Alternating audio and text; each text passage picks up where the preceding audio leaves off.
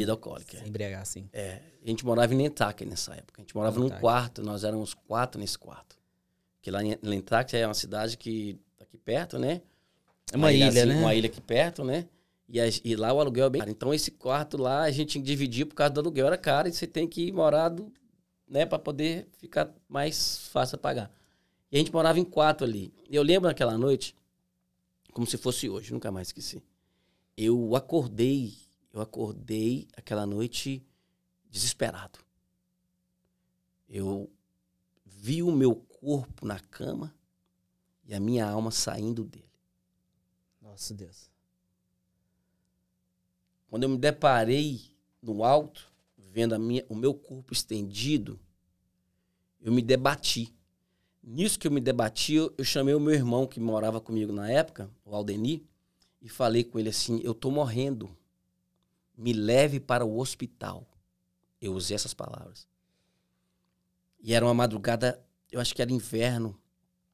E nós corremos para pegar o carro, que era um Aven que a gente usava de serviço, que era o nosso único carro de transporte. E no caminho para o hospital, eu falei assim para ele: Vamos cantar um hino. Nossa. E naquela noite. ele também era crente? Ele também desviado, estava desviado. Desviado. assim, nós não sabíamos qual hino cantar. Nossa Deus. Aquele ali, eu em desespero, porque eu achei que eu estava tendo uma parada cardíaca ou alguma coisa do, do gênero. Eu, eu cheguei no hospital e já me levaram para a sala, colocaram aparelhar, as aparelhagens em mim, tudo. E a médica perguntou se eu tinha usado droga, se eu tinha. Eu falei, não, eu tinha, eu tinha bebido cervejas na época.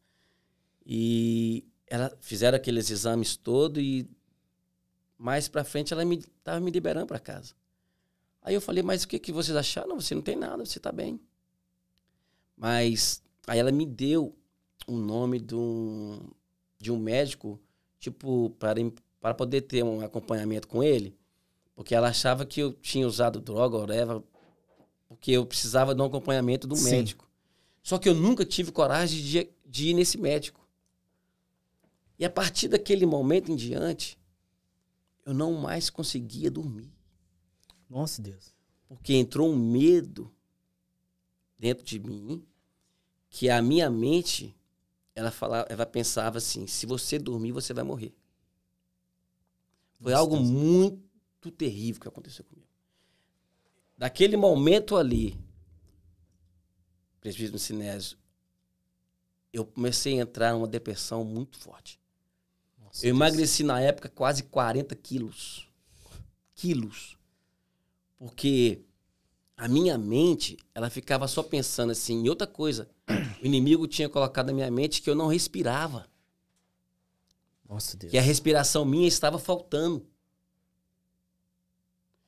E como que eu ia pegar no sono, sendo que eu não conseguia, que eu achava que eu não estava respirando? Nossa Foi Deus. algo assim muito terrível. E eu tava em Entac nessa época. E aí eu falei assim, se eu morrer do jeito que eu tô, Eu vou pro eu inferno. vou, eu vou pro inferno. E ali começou um processo, porque eu já não conseguia mais trabalhar. Aí eu trabalhava para uma empresa americana, foi aonde eles me deram a oportunidade para mexer com pintura. E eu tomava conta de uma turma lá de uns oito homens. E eu cheguei pro dono da empresa e eu vim para Raianes. Eu voltei para Raianes eu falei com ele, eu não vou poder mais trabalhar pro senhor. Mas o que, que aconteceu? Eu falei, eu tô tendo problemas de saúde, eu preciso me tratar. Só que o tratamento era espiritual. Sim. Não era um tratamento físico, era um tratamento do espírito. O corpo tava normal. O corpo estava normal. Apesar de estar emagrecendo, mas não era uma As doença. pessoas olhavam para mim assim, eu emagreci, eu emagreci muito rápido. E eu não tinha mais paladar. Eu não tinha mais vontade de viver. Eu não tinha. Eu lembro na época que eu voltei, meu irmão voltou comigo, eu ficava dentro de um quarto. Sabe? Eu ficava dentro de um quarto eu tentava, eu tomava várias para tentar dormir, muito medicamento, tomava chá, tomava as coisas, mas eu não conseguia dormir. Eu não descansava, eu não tinha paz. Só que uma noite é, antes de vir para Raianes, eu fiquei um tempo também, tive nessa transição de Nentrac para cá. O Espírito Santo de Deus me visitou aquela noite e falou assim: Você não tem sono. Começa a ler a Bíblia. Começa a ler a Bíblia. Eu começava a ler a Bíblia.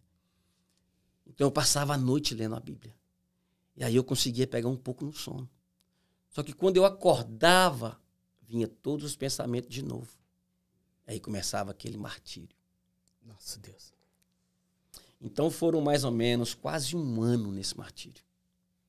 Aí foi quando eu mudei para Raianes e eu aceitei Jesus aqui. Conheceu a igreja e. Aí eu conheci a igreja. Na realidade, eu não me lembro quem me, me apresentou a igreja daqui. E eu lembro que eu vim. Eu trouxe uma pessoa que estava comigo na época. E ela também aceitou Jesus junto comigo. Ela era do Brasil. Aí ela tinha vindo, tinha entregado a, a, a Jesus junto comigo. Eu não sei hoje se ela continua ou não. Mas a partir daquele momento que eu aceitei Jesus, nunca mais eu desviei do evangelho.